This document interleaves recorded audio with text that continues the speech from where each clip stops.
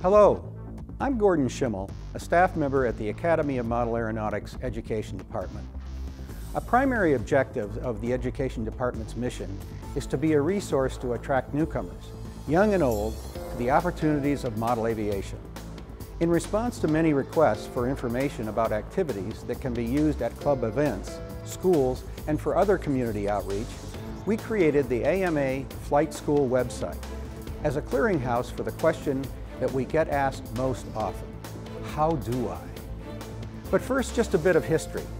The meaning of the Academy in our name goes back to 1936, where AMA clubs functioned as learning communities, dedicated to the promotion of science, technology, engineering, and math, long before the STEM acronym came into vogue. We shouldn't forget that model aviation is a promotional and educational tool that can be used by AMA clubs in events for the general public, to reach schools with classroom and after-school programs, as well as other community groups. We all know about the excitement of radio-controlled flight, but AMA's education department also uses simple, quick-build, inexpensive models to make it easy for club members to interest others in model aviation. Thanks to model aviation, everybody becomes an aviator. How does this happen? Simple free flight models have been used as a great way to engage newcomers in the fun of flight.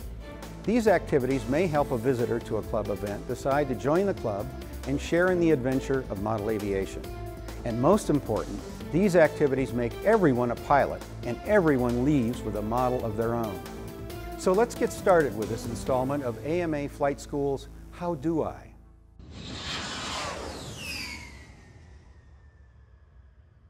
Today we are going to show you how to assemble, modify, and power up the model. If you're flying somewhere where it might get where you don't want it and you might get in trouble, you don't want to put your own name. As well as how to humiliate the host. Hello, I'm Gordon Schimmel with the Academy of Model Aeronautics. Welcome to our How Do I series for newcomers. In this online tutorial, I'm joined by Dave Gee, a veteran free flight modeler he is going to show us how to take a simple entry-level model and modify it for better flight performance. Welcome, Dave. Thanks, Gordon. So we're going to talk about this little free flight model. There's been an awful lot of these made, and I'm sure you've seen them and flown them. Uh, yours might not say AMA on it, it might say Louis Diner, but they're the same model. And this technology is not new. The first one like this was flown in 1871. That's a long time ago. You better believe it. Well, it's been a different plane since, you know. So uh, there's a lot of things we can do to these to bring the performance way, way up from how it comes out of the package. This one is dead stock. You see it's got flat wings and it's assembled the way the package says. But let's take one and upgrade it a little bit and see what we can do with it. So I always cut the package because when you tear it, you always seem to tear the wing. And uh, it comes with clear instructions. You want to wad those up carefully and get rid of them. All right, you got your motor stick and the wing. The hook is on the bottom, so let's start by putting the wing through it. Gently and firmly, because it doesn't always want to go. Bring it about to the middle, we'll adjust it later. Now, this wing has dihedral for stability, but we're going to want this to carry an awful lot more power than it was designed, so we need more stability, more dihedral. So we're going to take our magic ballpoint pen, and we'll just use part of the, part of the plane as a ruler. And we're going to go in from the tip oh, about an inch and a half. It's not really critical. And we're going to just draw a line. It's not that we want the line, we want to break the fibers in the balsa a little bit. Now do these have to be equally? Approximate uh, is good enough. The airplane won't care, it doesn't say a word. In actual fact, you want the plane to fly in a circle, so if it's a little bit uneven, that's fine. Now we want to break it, but we don't want to break it off. So one way to do it is to put it on the edge of the table and just crack it gently like that. If you're feeling cocky, you can do it with your fingers. You see, and they, these aren't equal, and it'll be mm -hmm. fine. Mm -hmm. About that much, if it's a little more or a little less, won't matter. However, now that we've broken part of the fibers of the wing, it won't stay like that.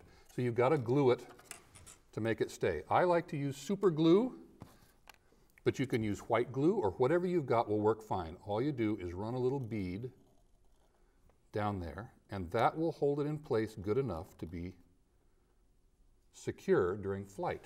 I'll put and that back for you. I'm an impatient guy, so I want super glue to hurry up, so I use accelerator spray to make the super glue dry. This takes a long time to, okay, it's dry. And the rest of it goes together pretty stock. I'll put the, the printing up for aesthetic purposes. Ah, when we put the rudder in, the grain of the rudder goes the wrong way. It goes this way. Well, the stripes look beautiful, but the rudder will snap right off. So take the grain of the wood and make it go up and down. Put it in so that the stripes are going up and down. I realize it looks bad, but trust me, this will survive much better. Uh, oftentimes, we want to put a little drop of glue on the tail to reinforce and hold it, because sometimes that wood will split during an exciting, adventurous trip into the stratosphere. All right. Now here comes the nose piece, and sometimes that nose piece fits on snug and it's just great. But other times it's loose and it wobbles. If yours wobbles, there's an easy dirty trick for this. I love dirty tricks. You take a little bit of this wood left over, just a little bit, and you put it next to this, and you cram it in there to shim it down so that it fits tight. And then you can just break off whatever's left. And now that thing fits tight. It's important because if the prop uh, pulls different directions on different flights, it won't fly the same way twice in a row. Now the final bit is probably the most important of all.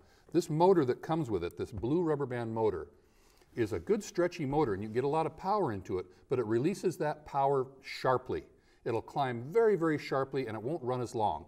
Well, if you're outdoors, that's okay. But if you can get the use of a big gym, or if you want it to stay in a yard or a schoolyard, you're going to need to upgrade the rubber. This is called Tan Super Sport rubber. It's especially for model airplanes. If you're lucky enough to live next to a hobby shop or nearby, they will likely have some of this. This is eighth inch, the most common size. If you don't have a hobby shop nearby, you're going online. You cut a strip of this, and you're going to tie a knot in it. And by the way, it comes in big packages and small packages. You don't have to buy a whole lot. Just tie a regular overhand knot, but cinch it down tight, tight, tight, tight, tight. So that instead of a strip of rubber, you have a loop.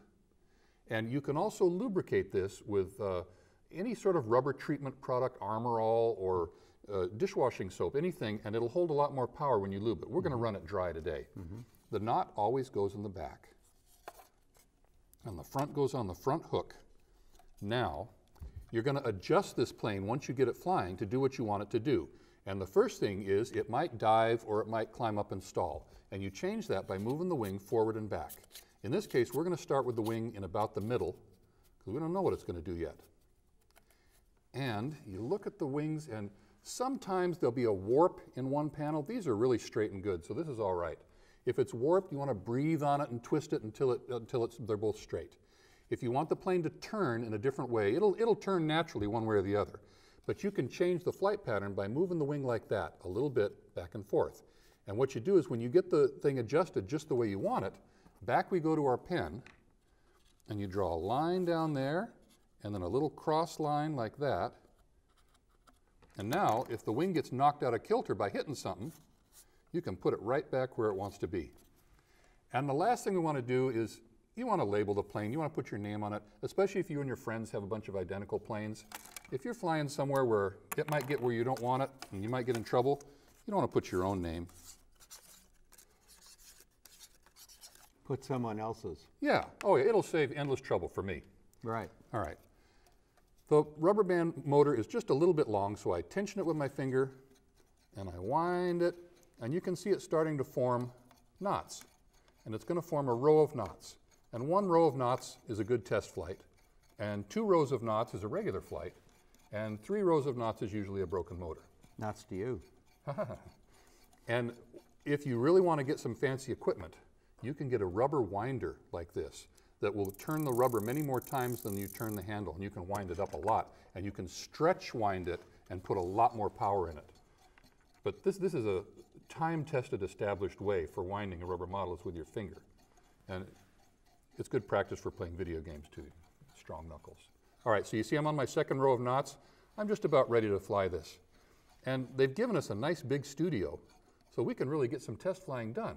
But Gordon, I'm going to aim at your head. I'm going to aim just past you. Let's see Good. if it flies. Hey, Gordon, look at this.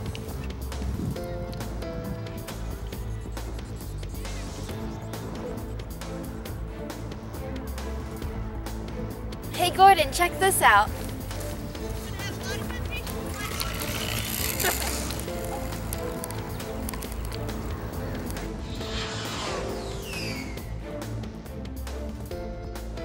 Thanks for joining us.